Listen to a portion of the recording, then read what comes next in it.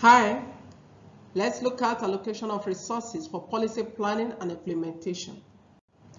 Now, what are the first thing we need to look at? You have to look at the physical resources. What are the physical resources that are available? Are the physical resources accessible? Are the physical resources viable? These are the things you need to consider when you are taking allocation for policy planning and implementation because the resources are vital.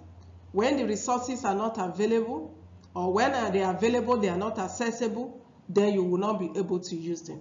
So for every plan, you must identify the required resources and where to search for such resources, physical resources that you need to use. Let's cite, for example, you want to set up a school. Do you have a land? What kind of land is available? And if the land is available, is the land accessible? Do you need to enhance the nature of the land to make it habitable so that they will be able to build on the land? When this is done, it will help you a great deal to actually attain what needs to be attained.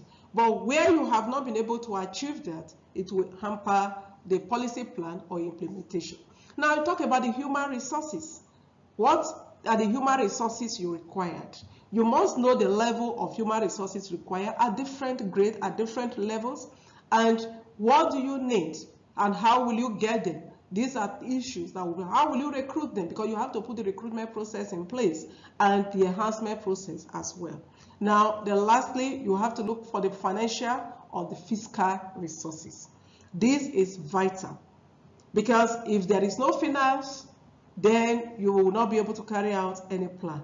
You may just, even to do the planning will be difficult because you need to have meetings. You need to meet with some persons. So right from the planning process, you need the money. And during the implementation, you need money. So we must be able to identify the source of funding when you are into a plan because you will not just see it that well during the plan maybe somebody uh, maybe the there is some money for you to carry out the plan but you go beyond the plan what about the implementation where you need a higher money, a higher amount to carry out such plan. So in this regard, I would like to say when you are allocating, the allocation of resources for policy and implementation plan is vital when you are carrying out your plan because they must be allocated in such a way that no sector will be lacking because if any sector is lacking definitely it will affect a whole and in the educational system you cannot allocate resources alone to salary and you leave out building. Neither will you have the structure